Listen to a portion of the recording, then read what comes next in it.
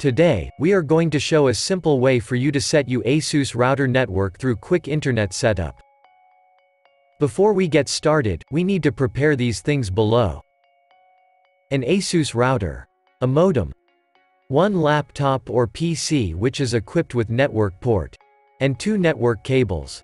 Now, let's start to connect these devices. First, use one network cable to connect modem and WAN port to the rear of ASUS router.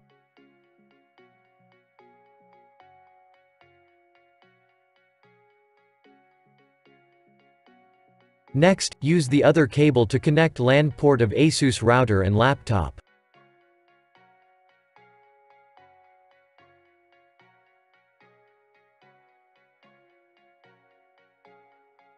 Finally, connect the power cable and press the power button to turn on the router. And check the LED lights to the front of router. Make sure that the three LEDs on the far right should be on. And as well as the WAN and LAN port LED. Now, let's go to Quick Internet Setup. First, open a browser and type router.asus.com to access ASUS Quick Internet Setup setting page. This is ASUS Quick Internet Setup page. You can let it detect connection type automatically by clicking Create a new network button. The Advanced Setting button below is designed for users who would like to set network connection manually. Now, let's start to create a new network.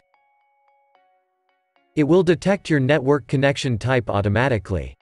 There are three types of network connection, PPPoE, static IP, and automatic IP.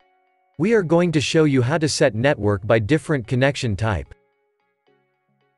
The first type is PPPoE. Please enter your username and password which are provided by your internet service provider.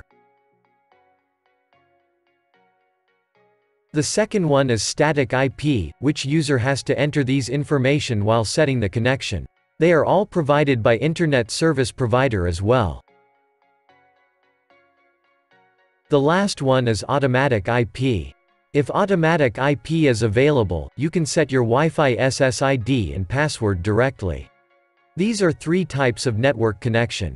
If you are not sure what your network connection type is, please contact your internet service provider.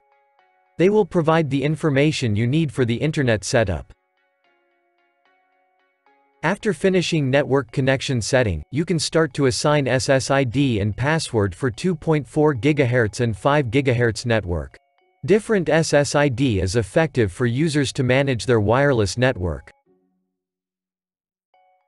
The last step is to change your router login name and password. You can check the network connection status at this page.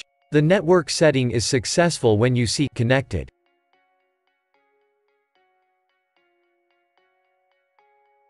Now, enjoy the internet with ASUS router. You can also find more information on ASUS website.